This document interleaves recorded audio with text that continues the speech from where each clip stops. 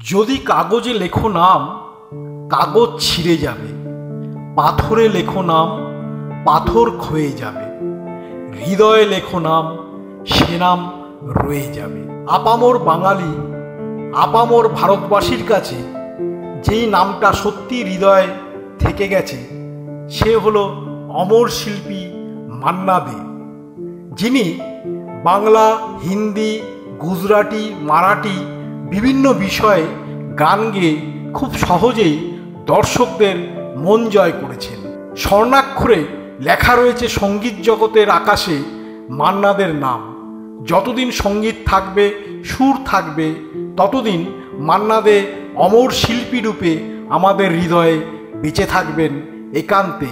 তার প্রেমের গান, তার ভালোবাসার গান, তার অনুভূতির গান, তার বিবেকের গান, তার সমস্ত গানই আজও মানুষের মনকে নাড়া দিয়ে চলেছে, যা আগামী যুগ যুগ ধরে মানুষের মনকে একই জায়গায় নাড়া দিয়ে চলবে।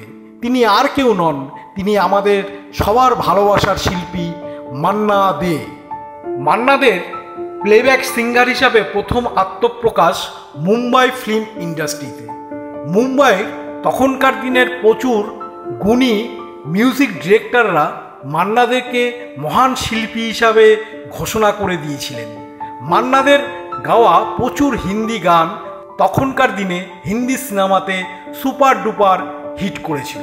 হিন্দির সাথে সাথে বাংলা ইন্ডাস্ট্রিতেও মান্না দে সমান সফলতার সহিত দর্শকদের মন জয় করেছেন। একের পর এক বিভিন্ন সুরকারের কম্পোজ করা গান, বিভিন্ন গীতিকারের কম্পোজ করা গান মান্না দে আমাদেরকে গেয়ে উপহার দিয়েছেন।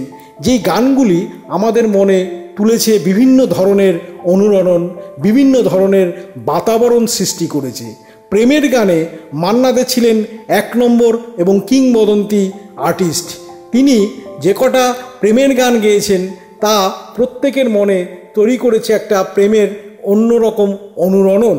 মান্না দে তার সংগীত জীবনে বাংলা, হিন্দি ও বিভিন্ন ভাষা মিলিয়ে মোট সাড়ে তিন হাজারের উপরে গান রেকর্ডিং করেছেন। মান্নাদের সংগীত জীবনের অম্লান অবদানকে স্বীকার করে নিয়ে ভারত সরকার উনিশশো একাত্তর সালে মান্নাদেকে পদ্মশ্রী উপাধিতে ভূষিত করেন। এরপরে দু সালে পদ্মবিভূষণ তাকে উপাধি দেওয়া হয় এবং দু হাজার সাত সালে দাদা সাহেব ফালকে উপাধিতে তাকে ভূষিত করেন। দু হাজার এগারো সালে পশ্চিমবঙ্গ সরকার তাকে রাজ্যের সর্বোচ্চ উপাধি বঙ্গবিভূষণ উপাধিতে ভূষিত করেন।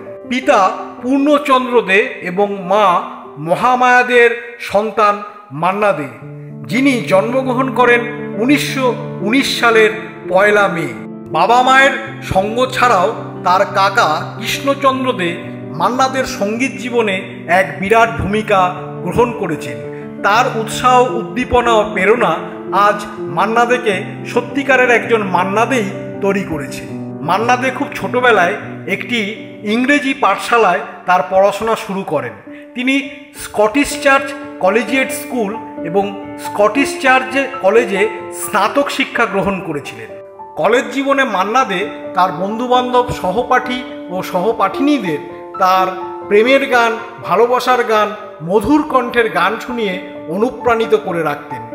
তারা প্রত্যেকেই খুব ভালো করে মান্নাদের ফ্যান ছিল। মান্না দে তার কাকা কৃষ্ণচন্দ্র দে ও ওস্তাদ দাবির খানের কাছে তার সংগীত শিক্ষা লাভ করেছিলেন। মান্না দে আন্ত কলেজ প্রতিযোগিতায় ধারাবাহিকভাবে পরপর তিন বছর দক্ষতার সহিত সাফল্য লাভ করেন। মান্না দে উনিশশো সালে তার কাকা কৃষ্ণচন্দ্রদের হাত ধরে মুম্বাইতে অনুপ্রবেশ করেন। বম্বেতে থাকাকালীন মান্না দে প্রথম প্রথম তার কাকা কৃষ্ণচন্দ্রদের সহকারী হিসাবে কাজ করতেন। এরপরে ওখানকার স্বনামধন্য গীতিকার ও সুরকারদের সংস্পর্শে মান্নাদে আসেন এবং তারা তখন মান্নাদেকে বিভিন্ন সিনেমা, বিভিন্ন চলচ্চিত্রে গায়ক হিসাবে আত্মপ্রকাশ ঘটাতে থাকে তামান্না চলচ্চিত্রে প্রথম মান্নাদের গায়ক হিসাবে অভিষেক ঘটেছিল। এখানে তিনি বিখ্যাত গায়িকা সুরাইয়ার সাথে দ্বৈত কণ্ঠে গান গেয়েছিলেন। বলা বাহুল্য, এই সিনেমার সুরকার ছিলেন তার কাকা স্বয়ং কৃষ্ণচন্দ্র দে। এবং ওই সময় এই গানটি খুব খুব জনপ্রিয়তা লাভ করে।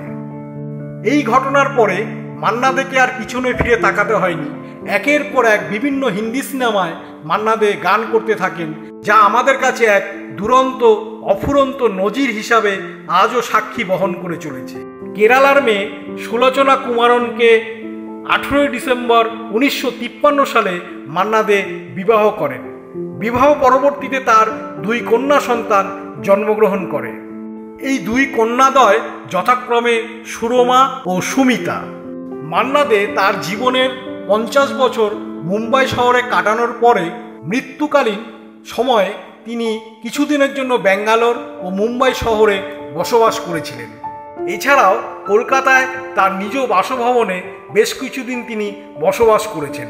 মান্না দে তার সংগীত পরিবেশন করবার জন্য পশ্চিমবঙ্গ, ভারতবর্ষের বিভিন্ন জায়গা সহ পৃথিবীর বিভিন্ন জায়গাতে অনুষ্ঠান করে দর্শকদের, শ্রোতাদের মন জয় করেছেন।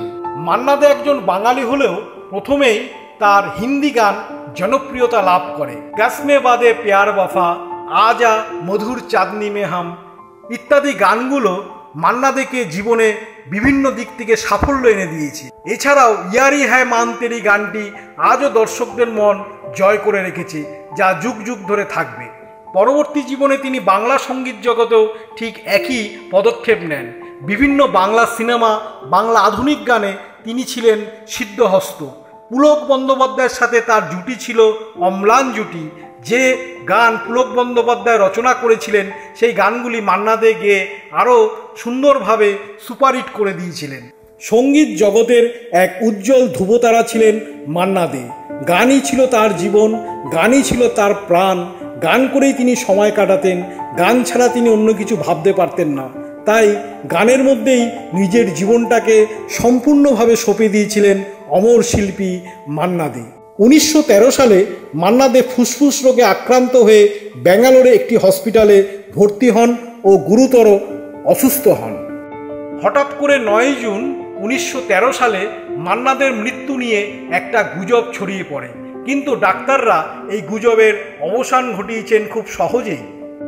অমর শিল্পী মান্না দে কিছুদিন সুস্থ থাকার পরে দু হাজার তেরো সালের চব্বিশে অক্টোবর ব্যাঙ্গালোরে মৃত্যুবরণ করে চির অমর লোকে গমন করেন। যতদিন বাঙালি থাকবে, বাংলা ভাষা থাকবে, ভারতবর্ষের শিল্প সংস্কৃতি থাকবে, ততদিন মান্নাদের গান, মান্নাদের কথা স্বর্ণাক্ষরে লেখা থাকবে এই সঙ্গীতের ভাগ্যাকাশে। সংগীত জগৎ মান্নাদেকে হারিয়ে এক অভূতপূর্ব ক্ষতির শিকার হয়েছিলেন। তাই অমর শিল্পী মান্নাদেকে জানাই লাল সেলাম, জানাই তার চরণে কোটি কোটি প্রণাম। অমর শিল্পী মান্না দে, তুমি যেখানেই থাকো, তুমি অমর হয়েই থাকো এবং এইভাবে আমাদের দর্শকদের প্রাণে, মনে, প্রেমের বাতাবরণ সৃষ্টি করে চলো। তোমার গান, তোমার কণ্ঠ আজ কোটি কোটি দর্শকদের জীবনের বাঁচার রসদ হয়ে থাকল। মান্না দে, তোমাকে জানাই লাল সালাম, তোমাকে জানাই শত কোটি প্রণাম। Zombie Apocalypse.